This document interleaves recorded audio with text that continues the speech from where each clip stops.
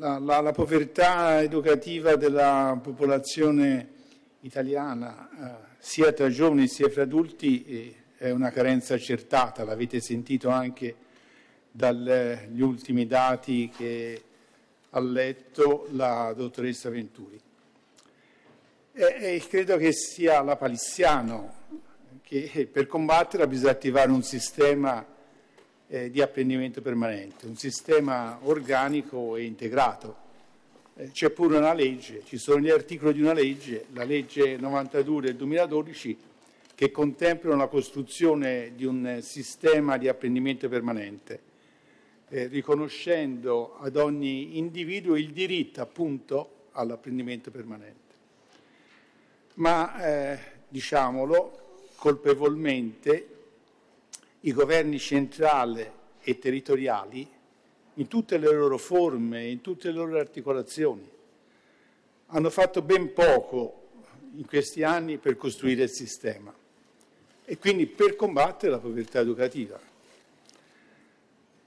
Tanto, eh, e lo dico, da far venire il sospetto che stiano loro in povertà educativa, oppure che preferiscono l'ignoranza dei loro amministrati alla consapevolezza. Le eccezioni sono veramente poche e le conoscerete oggi. Credo quindi che occorra insistere attraverso una campagna diffusa di sensibilizzazione per far passare il messaggio fra coloro che almeno sono in buona fede che se non sai non capisci e se non capisci trovi difficoltà sia a vivere sia a lavorare, sia anche, per restare alla moda, a discernere tra il vero e il falso. Per questo il gruppo nazionale per l'apprendimento permanente, di cui faccio parte come da forum e che comprende le tre sigle sindacali confederate, CGL e CISL-UIL, le eh, eh, sindacati di categoria, sempre della CISL, eh, da CGL e CISL-UIL, la rete delle cattedre universitarie, la rete di CIPIA, il forum del terzo settore, il Gruppo Nazionale per l'Apprendimento Permanente ha scritto un appello per la costruzione di un sistema, di un piano di garanzia delle competenze. Un piano di garanzia delle competenze che eh, spero che si riesca a presentare in un convegno prima della primavera. Nel frattempo abbiamo chiesto anche una serie di incontri con i ministri competenti, è difficile riuscire a stare dietro a tutte le variazioni che intervengono, ma ci proviamo. Una serie di incontri con i ministri competenti, le commissioni deputate della Camera e del Senato e la conferenza delle regioni. Poi, eh, se magari ci sarà tempo, eh, vi leggerò l'appello. Intanto, pre- per stare in tema, mi preme sottolineare che il sistema di apprendimento permanente poggia sulle reti territoriali le reti territoriali sono il fondamento, eh, lo dice anche la legge che citavo prima, la legge 92 del 2012, e quindi è da qui che si deve partire per iniziare a costruire il sistema. Richiamo gli elementi fondamentali su cui si deve articolare un sistema organico e integrato delineato appunto dalla legge e poi ribadito anche nell'intesa in conferenza unificata sempre del 2012 e dall'accordo sempre in conferenza unificata del 2014. Voi eh, probabilmente li conoscete, ma è opportuno ripeterlo perché restino agli atti del seminario. Gli elementi eh, essenziali del sistema sono ah, le reti territoriali dei servizi come ossatura del sistema, l'orientamento permanente come parte del sistema, il procedimento di individuazione e validazione degli apprendimenti e la certificazione delle competenze e quarto, l'impianto informativo nell'ambito di una dorsale unica ai fini del monitoraggio, della valutazione, della tracciabilità e della conservazione degli attestati. Quindi gli elementi essenziali per costruire un sistema sono questi quattro e su questi quattro detto, lo dice la legge e lo ripetono delle intese firmate da tutti i soggetti a livello istituzionale che devono lavorare su questo tema, quindi Stato e Regioni. In merito alle reti territoriali, le citate normative precisano poi l'oggetto, cioè cosa, cosa sono le reti territoriali, l'insieme dei servizi relativi agli ambiti di apprendimento, formali, non formali, informali. Quindi ne fanno parte l'insieme dei servizi pubblici e privati di istruzione, formazione, lavoro, compresi i servizi relativi agli apprendimenti non formali. Quindi sappiamo che cosa è scritto e normatizzato, cos'è l'oggetto delle reti territoriali. Sappiamo anche qual è l'obiettivo, la finalizzazione. I servizi devono essere collegati organicamente alle politiche di innalzamento dei livelli di istruzione, quindi collegati alle politiche di innalzamento dei livelli di istruzione, alle strategie per la crescita economica, all'accesso al lavoro, alle riforme del welfare, all'invecchiamento attivo, all'esercizio della cittadinanza. Ripeto, a costo di apparire noioso, è scritto qual è l'obiettivo delle reti territoriali. E le priorità, sono anche definite le priorità. L'ampliamento della platea dei beneficiari, il sostegno alla costruzione di percorsi personalizzati, soprattutto per i soggetti più deboli, la correlazione con le necessità dei territori e i fabbisogni dei sistemi produttivi, l'attivazione dei, dei, servizi di orientamento, il riconoscimento dei crediti e la loro certificazione.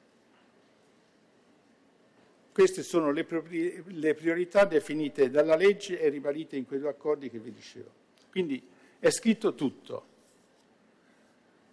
Manca la volontà politica, manca la volontà politica di fare in modo sistemico e organico su tutto il territorio nazionale quello che nei limiti del possibile è stato realizzato eh, a oggi in qualche area territoriale, dall'impegno sociale di pochi benemeriti, penso a CIPIA, a qualche comune, a alcune associazioni del terzo settore, a qualche ente di ricerca e di studio.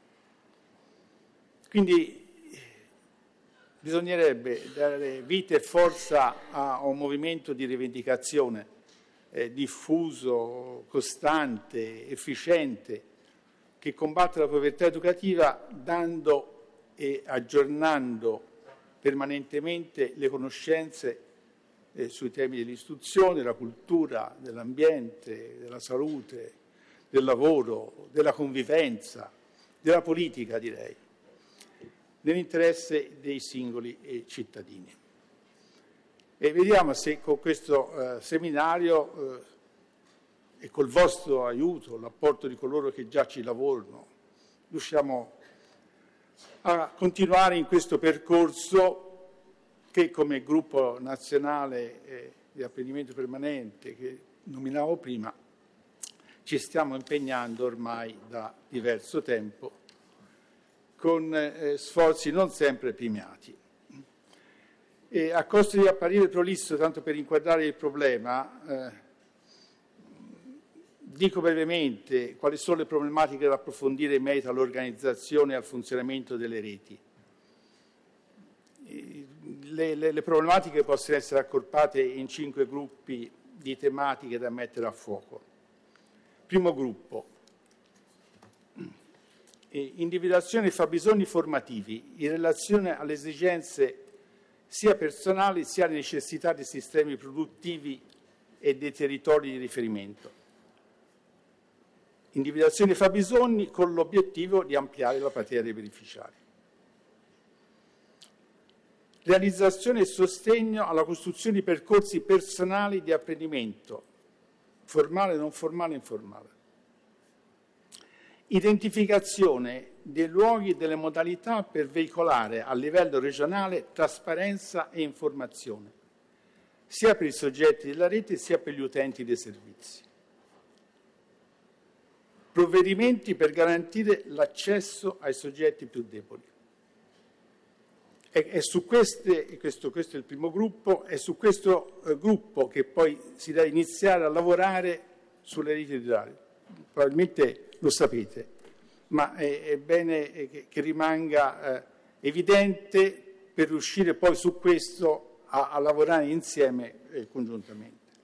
Bisogna quindi prevedere azioni di costruzione di un protocollo condiviso di analisi dei bisogni attraverso analisi socio-economiche del territorio, la valorizzazione sistematica dell'apporto dei diversi stakeholder del territorio, l'armonizzazione delle banche dati esistenti, anche allo scopo di farle dialogare fra di loro in vista della costruzione di una dorsale informativa unica, almeno a livello regionale, la mappatura delle attività di apprendimento permanente che abbiano carattere non occasionale, alta trasferibilità, obiettivi di apprendimento dichiarati e delle iniziative di sollecitazione alla domanda attraverso la progettazione di percorsi personalizzati, raccordo tra attività di educazione permanente del territorio non formale, sistema di istruzione degli adulti, quindi non formale, istruzione degli adulti formale, poi sistema della formazione professionale, sistema dell'orientamento del lavoro, cioè tutti questi subsistemi che esistono in genere su tutti i territori devono parlarsi fra di loro devono stabilire e condividere gli standard minima di erogazione dei percorsi e quindi lavorare in relazione a un sistema di certificazione poi delle competenze sta, su cui sta lavorando sul piano nazionale l'AMPAL. Il secondo gruppo di tematiche da mettere a fuoco è l'adeguamento della competenza degli operatori, sia delle attività di educazione, sia quelle di istruzione, sia quelle di formazione, ma anche con i servizi di orientamento e di certificazione. E poi la valutazione, quindi adeguamento delle competenze e bisogna formare i formatori per usare le solite banali parole, che manca la formazione degli operatori, e valutazione delle performance dei servizi e della soddisfazione degli utenti, perché se non si testano gli interventi è difficile che si possa costruire qualcosa di positivo. E quindi bisogna prevedere azioni di formazione degli operatori in tutti i campi, dall'orientamento all'apprendimento alla certificazione, elaborazione di standard territoriali di servizi a garanzia della qualità, individuazione delle modalità e successiva modalizzazione per la partecipazione dei soggetti che realizzano le attività formative non formali e informali attraverso l'istruzione di idonei registri.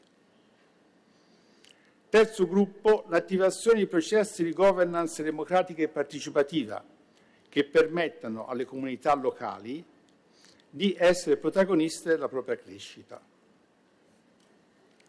Oggi svolgono le funzioni di apprendimento organismi pubblici e privati, connotati rispetto a specifici campi nel campo dell'istruzione, dell'educazione, del lavoro, della transizione tra formazione e lavoro, intervengono strutture che svolgono compiti di orientamento e di certificazione. Bisogna mettere insieme e organizzare una armonia fra tutti questi soggetti e quindi prefigurare forme di raccordo fra le diverse reti esistenti in modo da assicurare la capacità di incidenza sul territorio. Terzo gruppo, quarto gruppo, scusatemi, modalità di realizzazione di una dorsale informativa unica. È importante avere un punto di riferimento in cui ci sono tutti i dati. Ricerca e censimento quindi dei database esistenti a livello locale, omogenizzazione dei sistemi di rilevazione, anche questo cosa molto importante, omogenizzare i sistemi di rilevazione, e estensione del campo delle attività al non formale, se è limitata al formale, creazione di un database unico creazione di un'interfaccia fra il database e il repertorio delle figure eh, professionali e la creazione di un'interfaccia tra il database e le competenze in uscita, sia dai cicli scolastici ma anche dalle esperienze fatte nell'educazione non formale. Ultimo gruppo di problematiche da mettere da prendere in evidenza per costruire le reti territoriali sono le fonti di finanziamento. In realtà le fonti di finanziamento ci sono, guardate, quello che fa più rabbia poi per chi lavora da tempo su queste cose è vedere che poi i fondi non è che mancano, non saranno eccessivi perché poi in realtà eh, ovviamente tenendo conto della povertà educativa che c'è in questo Paese, bisognerebbe triplicarli. E se poi vedete i bilanci poi dei vari governi a, a questi interventi eh, nel campo dell'istruzione, della formazione, i finanziamenti sono molto più ridotti rispetto a altri tipi di eh, iniziative. Però in realtà eh, i finanziamenti ci sono e che il problema è che vengono sprecati perché sono parcellizzati, cioè ogni pezzo di soggetto che dovrebbe entrare in un sistema ha una sua copertura finanziaria. Se si riuscisse a mettere insieme tutti questi finanziamenti e quindi lavorare in modo organico, probabilmente si troverebbe anche la forza per poter costruire qualcosa di positivo. È, è un altro dei problemi. È, è difficilissimo riuscire a far capire ai vari organismi che devono mettere insieme anche al loro vantaggio, al loro interesse, i finanziamenti. Perché ognuno ovviamente è abituato a curare i propri interessi e quindi manca questa visione che poi è quella che ci frena eh, in Italia dal punto di vista organizzativo per la costruzione di un sistema organico. E questi sono spunti per una riflessione. Eh, eh, voi ci racconterete, spero, le vostre esperienze, vediamo se dalle vostre esperienze, mettendole insieme con quelle che sono le linee guida di un processo, si riesce a fare un passo avanti. Grazie.